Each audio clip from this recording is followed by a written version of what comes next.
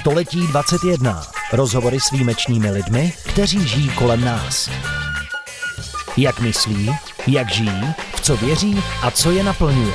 Století 21 na U-Radio Talk. Dnes je naším hostem paní Renata Balcarová, bývalá předsedkyně občanského združení Vězeňská duchovenská péče.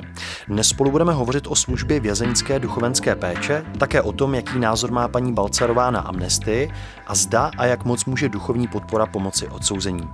Paní Balcarová, vítejte u nás ve studiu, dobrý den. Přeji dobrý den vám i posluchačům. Děkujeme. Možná hned na úvod bych se rád zeptal, co vás vedlo k tomuto povolání. Je více žen, které se rozhodly dělat vězeňskou duchovenskou péči a pracovat s odsouzenými lidmi? Musíte být velmi silná a statečná žena. Jestli vám můžu trošinku uhnout, mm-hmm. tak já eh, řeknu možná na úvod, a ano. to je možná velmi podstatné, mm-hmm. že tato služba tady existuje už 33 let. Mm-hmm. Vznikla opravdu bezprostředně mm-hmm. po naší revoluci. Mm-hmm. A eh, vlastně v tom veřejném prostoru jsme byli skutečně s kaplanskou službou první. Teprve po nás vznikaly ty další v dalších mm-hmm. rezortech. E, to, že jsem eh, silná a možná odvážná, tak mě vidí okolí. Mm. Já se tak určitě nevnímám a je pravda, že si asi v tom dalším povídání řekneme víc o tom, jak jsem ho vnímala. Mm. Rozhodně to prostředí nikdy nebylo pro mě traumatizující. Mm. Takže já jsem se k tomu dostala takovou zvláštní cestou. Mm-hmm. Já vám řeknu, jakou nebyla to moje vize, ale můj nadřízený tehdy v církvi, kam patřím, mě vyslal jako průzkumníka na, jako průzkumníka na školení, velmi intenzivní 14-denní, tehdy v Československu na ministerstvo vnitra já jsem ho absolvovala, já jsem složila závěrečné zkoušky. Tím jsem získala certifikát, který mě opravňoval tehdy ke vstupu do všech nápravně výchovných ústavů ještě mm. v celém mm. Československu. Mm. A tím jsem se tak trochu vymkla svému nadřízenému, mm. protože ta problematika v tom eh, během těch 14 dnů mě natolik zaujala, mm-hmm. že jsem vlastně začala skutečně aktivně eh, se účastnit všeho dění kolem. Mm-hmm. Takže já jsem se dostala touto cestou mm-hmm. ke službě, ale ona mě až jakoby uchvátila. Říkáte paní Balcerová, že vězeňská duchovenská služba vznikla hned po revoluci. Jak tedy přesně vznikla? Jak, jak, jak, co, co mu předcházelo? Jak to vypadalo? Já vám děkuji za tu otázku. Nemáte záč. E, ta otázka je víceméně podstatná pro celou existenci mm-hmm. té služby. Byl to později tedy můj kolega, pan magistr Bogdan Pivoňka, evangelický farář, mm-hmm. který se chopil toho vlastně ustanovit tady Eh, tuto službu, což nebylo tak jednoduché, bylo to velmi náročné mm-hmm. vzhledem k, legis, k legislativě a k, ke všem dalším okolnostem. Znamenalo, znamenalo to i úpravu eh, zákona, který by to umožňoval, mm-hmm. ale pro nás, co je úžasné, on tu službu postavil na širokých ekumenických základech. Mm-hmm. To znamená, že jsme sloužili od prvopočátku bez preference církví majoritních a diskriminace církví minoritních. Tím nás obdivuje nejenom Evropa, ale i Amerika. Hmm. A můžu vám říct, že jako nejvyspělejší vězenský systém se považuje Holandsko hmm. a ani tam nedospěli k tomuto velmi nás proto obdivují. Mm-hmm. Tam slouží zástupce pouze největších církví, mm-hmm. kdežto ti z těch menších, to znamená většinou těch protestantských, mají šanci výjimečně vstoupit a sloužit. Mm-hmm. Kdežto u nás je to naprosto na stejné rovině. Mm-hmm. A v tom jsme unikátem světovým.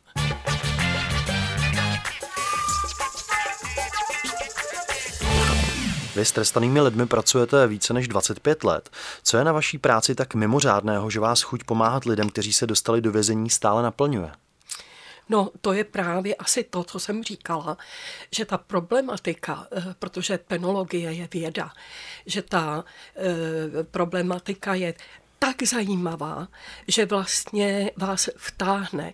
Vtáhnou vás osudy lidí, hmm. kteří se tedy dostali do výkonu trestu, do výkonu vazby, ale ten, ta cesta není tak jednoduchá, jak ji vnímají e, lajci. Mm-hmm, není. Mm-hmm. Je vůbec mezi odsouzenými zájem o duchovenskou péči? Dá se nějak poznat, že se u někoho jedná o účelové využívání a ne o opravdovou pomoc? Samozřejmě, kdyby jsme se bavili o statistikce, mm-hmm. což já teda velmi nemám ráda mm-hmm. v jakémkoliv oboru, ani v tomto, tak uh, musím říct, že se jedná zhruba o 10 až 15% těch, kteří projeví zájem mm-hmm. o slu- mm-hmm. tuto službu. Mm-hmm. Uh, z druhé strany se tam nutně promítá to, že jsme jednou z nejateističtějších zemí uh, Evropy. Mm-hmm. V tom vzorku těch lidí za Katrem se to samozřejmě objeví. A e, z druhé strany na první vstup, na první kontakt e, s těmito lidmi rozhodně nemáte šanci poznat, jak velká je jeho upřímnost. Mm-hmm. Ale musím říct, že člověk, který má osobnostní předpoklad k té službě, to znamená, není to ten naivní e, křesťan, který má tu všeobjímající náruč, tak eh, ten po určité době jak, jakýchsi svých zkušeností pozná, o koho jde. Mm-hmm. Mají na duchovenskou péči nárok všichni odsouzení, například i doživotní vězni?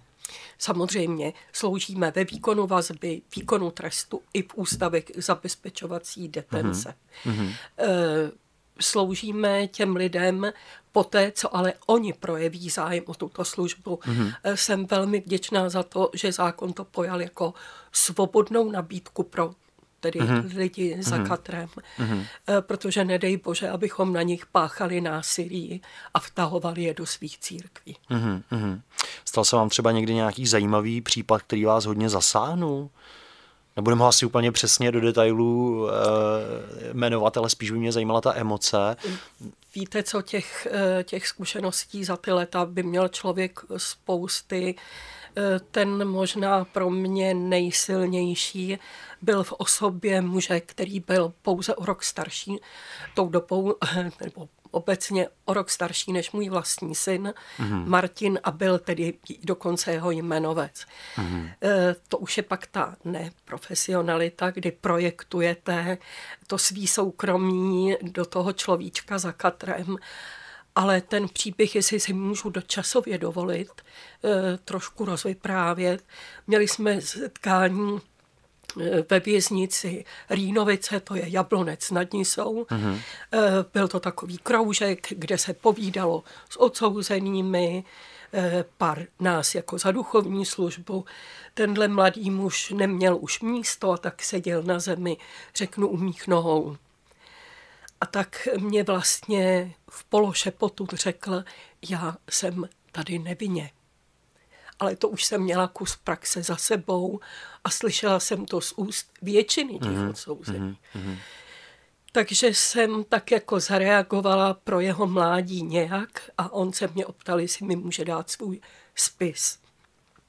Domluvili jsme se, spis mi dal mm-hmm. a když jsem ho opravdu poctivě přečetla, tak ve mně vzbudil zoufalý pocit, Eh, nevinného člověka, tedy skutečně nevinného, který tam sedí za vraždu na 15 let a říkala jsem si, no pro něj něco nutně musím udělat. Uh-huh. Tou dobou byl eh, ministrem spravedlnosti pan doktor Motejl, uh-huh. se kterým jsem měla pracovně nadstandardní vztah v obou straně ve velké úctě a já jsem vlastně ze své pozice byla v kontaktu s postupně jdoucími ministry spravedlnosti, mm-hmm. kde jsme měli pracovní schůzky, tedy i s tímto.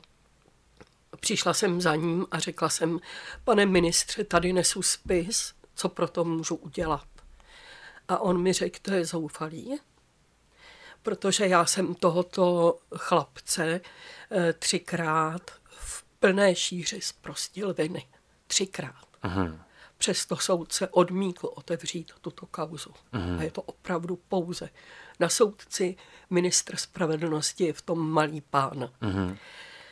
A skutečně tedy soudce odmítl, protože by tedy zřejmě intuitivně věděl nebo věděl, že byl odsouzený neprávem, tedy jako justiční omyl. A e, já jsem tedy, mě nezbylo nic jiného po poradě s panem ministrem, než jít cestou prominutí, takzvaného institutu prominutí zbytku trestu, což může udělat hlava státu. Uh-huh. A tehdy to byl ještě pan prezident Havel. Uh-huh. Problém v tom neviděl. Takže mu po deseti letech, což je neuvěřitelná doba být ve výkonu trestu, uh-huh. nespravedlivě e, prominul. A on tedy po deseti letech mohl být, nebo byl propuštěný. E, ten vztah e, můj a jeho byl nakonec dokonce tak blízký, že se mu nabídla i tykání protože tenhle mladý muž těsně předtím, než ho zavřeli, se stihl oženit a narodil se mu chlapeček. On se rozvedl a toho chlapečka dal k dispozici, on se ho zřekl, protože říkal v 15 letech, abych se musel představit, že jsem jeho otec. Je nesmysl. Já se, ho říkám proto, aby mohla žena si si najít novou známost mm-hmm. a mhm. tátu pro toho mhm. malého. Mm-hmm. On to sice udělal, ale zhroutil se už ve výkonu trestu. Mm-hmm. Tak mě tehdy volal ředitel věznice, jestli můžu za ním přijet, že vlastně nechce s nikým komunikovat než se mnou. Takže my jsme skutečně pak měli takový osobnější vztah. A e, přiznám se, že moje děti tehdy ještě doma mě mnohokrát zastihli, jak mi vlastně tečou slzy eh, ze zoufalství z toho, že mu nejsem schopná opravdu adekvátně pomoct a že eh, takhle vlastně musí být eh, ve výkonu trestu. Jak je na tom dnes, jestli se můžu zeptat? Jste s ním v kontaktu ještě? Nebo? Já jsem s ním byla velmi dlouho v kontaktu, našla jsem mu práci, vím, že žije jako řádný občan, mm-hmm. protože on skutečně neměl s tímto trestným činem nic společného. Před, promiňte, představte si, že balistické zkoušky tehdy prokázali jeho nevinu a říkali, že kdyby střílel z toho místa, kde údajně stál a zabíjel, tak balistická zkouška prokázala, že by se někde odrazila ta kulka a zabila by jeho. Mm-hmm. Přesto, že tam byly i tyto zkoušky, soudce nedovolil případ otevřít. E, v posledních letech už v kontaktu nejsme. Století 21. Rozhovory s výjimečnými lidmi, kteří žijí kolem nás. V listopadu proběhla tisková konference, kde křesťanská organizace Maraneta ve spolupráci s agenturou Stemark představila výsledky průzkumu Čemu Češi věří. Dle tohoto průzkumu respondenti víru nejčastěji popisují jako naději, důvěru, jistotu. Jak moc podle vás odsouzení hledají naději a jak je to s jejich důvěrou k vám? Děkuji za tu otázku, protože je skvělá. Ano, eh, hledají u nás naději, ale teď nemyslím tu lacinou. Hledají naději pakliže skutečně uchopí tu duchovní službu pro sebe a není v tom ta účelovost, mm-hmm. tak vlastně oni prvně z ústu duchovních slyší, že mají naději nejenom na to žít jiný způsob života, odklonit se od toho dosavadního a že to jde, jsou v tom povzbuzování, hodnotový žebříček, že je prostě někde úplně jinde. Mm. Ale vlastně my jim přinášíme i tu naději toho eh, vlastně odpuštění od Pána Boha a tak, jak jsme sekulární společnost eh, velmi velmi ateistická, tak tito lidé, řeknu, že v tom skutečně eh, skládají svoji naději a dokonce bych si dovolila říct, že z ní až žijí. Mm-hmm. Ta důvěra, eh, to je zjištěno za těch x let, co sloužíme, mm-hmm. Ta důvěra je vůči nám největší. Mm-hmm. To konstatují i ostatní odborní zaměstnanci ve vězenské službě, kteří jsou v přímém kontaktu mm-hmm. s obviněnými, odsouzenými, protože to povědomí o tom, že existuje cosi jako spovědní tajemství, to mají. Mm-hmm. Samozřejmě se to váže, dejme tomu, k římskokatolické církvi, ale i protestantské církve mají eh, vlastně to, že se ta informace, kterou získají, je důvěrně sdělenou. Mm-hmm. A to znamená, že ani já před soudem nemusím v určitých ohledech vypovídat. Mm-hmm. Ale aby to bylo přece jenom férové a zajištěné nějak, tak jsme došli ve vzájemné komunikaci k tomu, že eh, kdyby šlo o to, že plánují odsouzení jeden skupina, eh, velká skupina, že by měli někoho připravit o život. Eh, že chtějí nebo plánují nějakoukoliv demonstraci, tak je na nás, abychom uměli najít vhodnou osobu, a vhodná slova a toto oznámit, mm-hmm. abychom zabránili třeba lidským obětem. Mm-hmm. Děláte duchovenskou péči. Jak jste se vy osobně dostala k víře v Pána Boha? Pomáhá vám nějak studium Bible v inspiraci pro setkání s odsouzenými?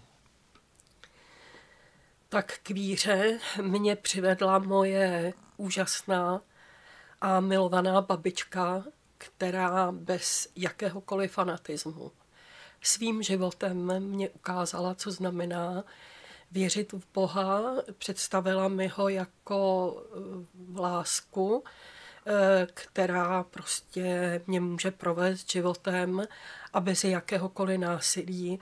Eh, mě tou, tím obdobím, kdy člověk hledá sám sebe ve společnosti, mezi vrstevníky, mě vlastně toto ukázala, takže to, byla, to, to byl ten nejlepší příklad mého života. Mm-hmm. A za to jsem jí nesmírně vděčná. Já vlastně jako věřící člověk, jako křesťanka se k Bibli, k Pánu Bohu obracím, z tohoto čerpám a určitě z tohoto čerpám, i když sloužím eh, ve věznicích obecně. Mm-hmm. Jak se připravujete na takové setkání s lidmi ve vězení? Máte nějakou individuální přípravu podle toho, za kým jdete, nebo zdali je věřící, nebo není? A nebo jde jen o to, aby si měl odsouzený s kým popovídat a do jisté míry suplujete práci psychologa? Je tam všechno, co jste vyjmenoval. To je úžasné. Je tam všechno v nějakém poměru. Určitě uh, se nezříkáme, a to byla také moje vize, jako šéfky, eh, že nebudeme eh, k dispozici jenom lidem, kteří buď patří do nějaké církve, nebo do ní budoucnu chtějí patřit. Hmm. Já jsem vždy vlastně tu vizi měla v tom, že jsme těmto lidem, kteří se byť vlastní vinou ocitli v nouzi, takže je minimálně po dobu výkonu vazby, výkonu trestu doprovázíme. Hmm. A my můžeme tu dobu prodloužit. Zaměstnancům, odborníkům ve vězenské službě končí vlastně kontakt s tímto člověkem ve chvíli, kdy opustí toto zařízení. Uh-huh. Duchovní eh, překlenou, překlenou ještě mnoho třeba dalších let, uh-huh. kdy se ten člověk s důvěrou na ně obrací pro radu, eh, pro pomoc, eh, a to už budu tvrdit neúčelově. Uh-huh. Takže my je doprovázíme uh-huh. až uh-huh. tak jako za. Někteří z nás si jistě vybavují, jak silné emoce ve společnosti dokáže vytvořit amnestie. Na amnestii je spousta názorů. Co myslíte vy? Proč je například dobré pro naší společnost to, že má prezident právo amnestii udělit? Jsem všemi deseti pro. Mm-hmm. Amnestii pro tento institut je velmi důležitý a strašně záleží, kdo je v tu chvíli hlavou státu, jak je moudrý, a morálním člověkem, eh, protože pokud se to stane jako účelové, jakkoliv ze strany prezidenta u nás republiky, tak je to špatně. Jinak eh, možná budete vy i posluchači zaskočení tím, když řeknu, že eh, naše populace populace, nebo, pardon, naši, naši občané jsou v České republice kriminalizováni. A to říkají odborníci, ne já, a to ve smyslu, že tam, kde by mohl být alternativní, alternativní trest uložený, tak se ukládá trest odnětí svobody. Mm. Je to nesmyslné, eh, má to naopak mnoho nevýhod pro toho jedince do budoucna mm. a pro společnost obrovský, protože ten člověk ve výkonu trestu stojí finance těch daňových poplatníků, kdežto když to bude v alternativním trestu, bude ve svém zaměstnání a nad to si bude odpikávat pro společenský trest odnětí svobody. Mm-hmm. Je to poměrně administrativně náročné a tak vidíme, že pro soudce je jednodušší mm-hmm. toho člověka odsoudit mm-hmm. do výkonu trestu. Mm-hmm.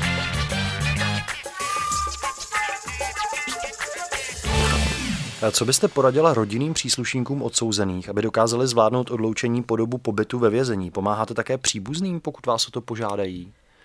Víte, na tohle bych možná mohla povídat další hodinu. Mm-hmm.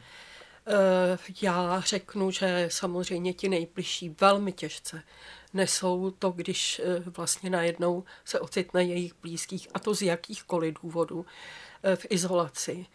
Eh, jsou izolováni ta rodina vůči němu, on vůči rodině, eh, což u eh, závažných trestných činů je v pořádku.